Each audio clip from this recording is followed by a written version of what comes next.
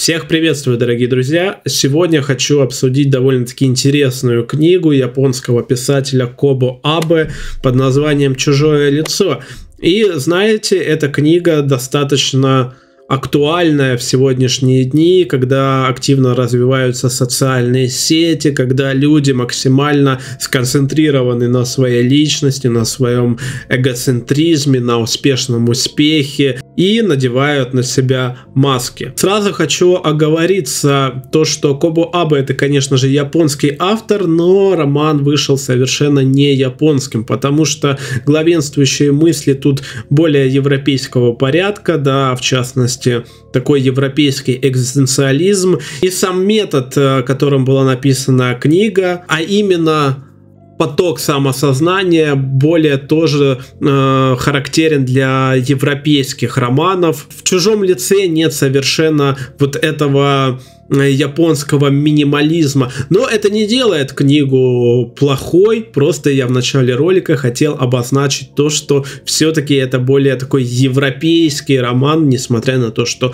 Кобо Абы, конечно же, японец. А я хочу еще напомнить, если вам нравится то, что я делаю, дорогие друзья, обязательно подписывайтесь на мой телеграм-канал, где я публикую свои мысли, верлибры, рассказы, рассуждения и так далее, и так далее. Обязательно подписывайтесь. Итак, о чем же нам повествует сюжет? А это история о человеке, который в результате несчастного случая на работе теряет, а точнее изродует свое лицо.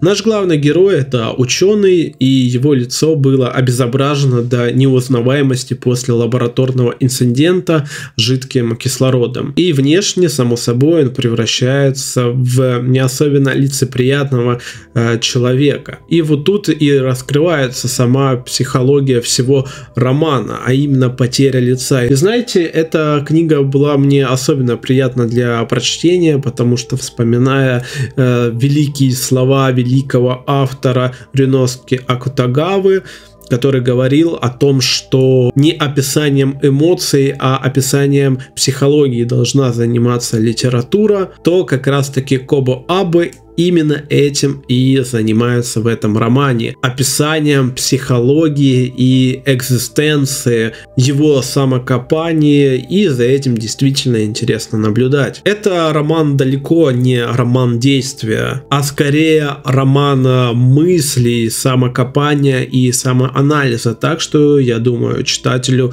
нужно быть готовым к этому. То, что действие или же экшена тут будет совершенно по минимуму. И вот главный герой не может взаимодействовать с окружающими так, как раньше.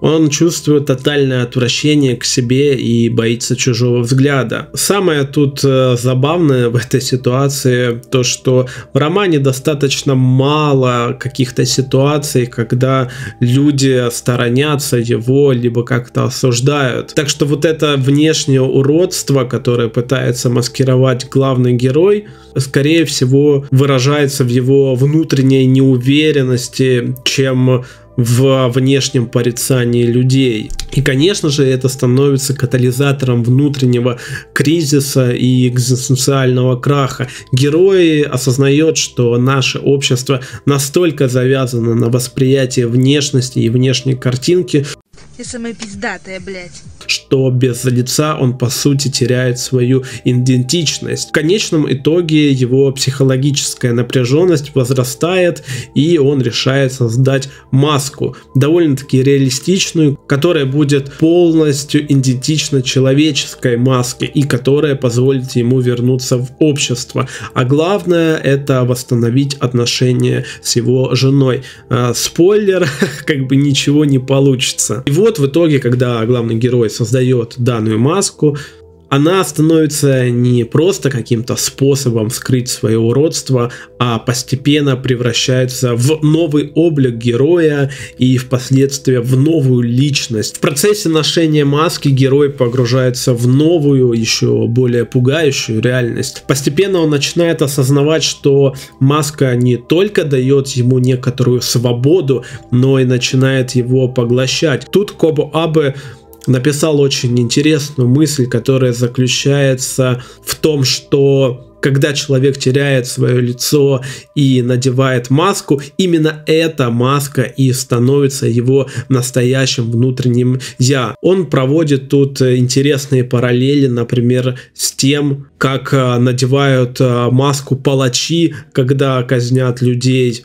или же как актеры в театре надевают маски но и высказывают мысль о том, что когда человек надевает на себя маску, он становится свободным и обнажает свое внутреннее я, которое спрятано за настоящим лицом человека. Поэтому главенствующей темой в данного романа является тема идентичности – насколько же наше лицо определяет нашу личность и что происходит, когда мы теряем свою внешнюю оболочку. Абба как будто бы говорит нам, что маски, которые мы носим, будь то реальные или метафорические, формируют наши отношения с окружающими и даже самим собой. Но что будет, если эта маска захватывает власть над нами? Мы как раз таки можем это проследить в современных реалиях, в социальных сетях, в интернете, когда как раз-таки люди и надевают на себя вот эти искусственные маски. Сегодня мы живем в эпоху, когда внешность играет просто колоссальную роль, и с этим связан, конечно же, рост индустрии красоты, социальные сети, фильтры, которые используются в этих социальных сетях. Сейчас выглядеть как-то не так, некрасиво является что-то типа э, преступления.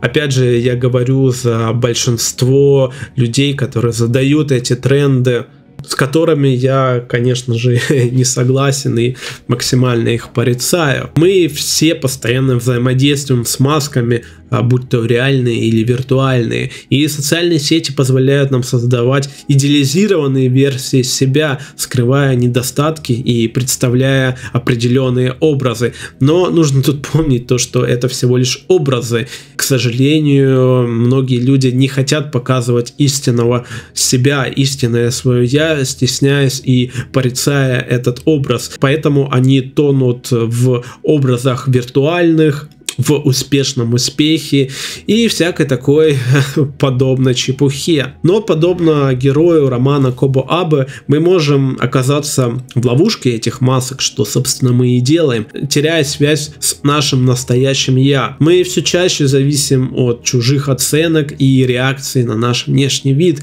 что является, конечно же, полным бредом. Маски могут дать ощущение свободы и уверенности, но, к сожалению, они разрушают наш наш внутренний баланс, тем самым разрушаем наше внутреннее я и нашу уверенность в себе. Вся эта неуверенность в себе очень гармонично вписывается в прекраснейшую сцену в романе, когда главный герой, нацепив на себя маску, начинает выводить свою же жену на измену. И она подается на эту измену, но в конечном итоге оказывается, что она все это время знала, что за этой маской был главный герой. То есть она ему по сути не изменяла, всего лишь подыгрывала. И она сказала там очень интересную фразу о том, что вот наконец ты и показал свое истинное лицо. То есть главный герой был уже таким и до потери лица. В сущности, потеря лица ничего не изменила, а лишь только оголила его несколько,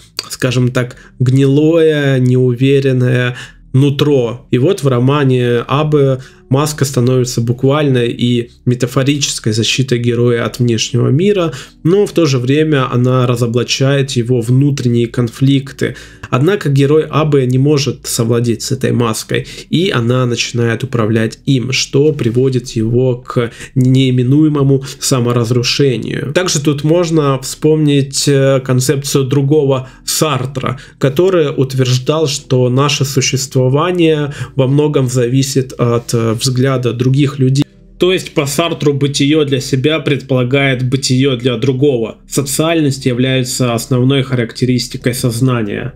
И этот взгляд превращает нас в некоторый объект, лишая нас свободы быть собой. И вот в чужом лице э, герой сталкивается с довольно-таки похожей проблемой. Без лица он лишен возможности видеть себя через призму чужого взгляда, что в принципе и лишает его идентичности. Он больше не может выступать как как э, объект восприятия для других, а значит перестает быть самим собой. Ну и под самый конец хотелось бы добавить, несмотря на то, что лицо в романе несомненно и довольно очевидно символизирует не просто внешность, а саму сущность человека, и потеря лица становится символом потери э, себя. И если мы проследим за главным героем, за его мыслями, за его действиями и за самой кульминацией романа, мы поймем, что это самое лицо и свое внутреннее я он потерял еще до, извините за тавтологию, до потери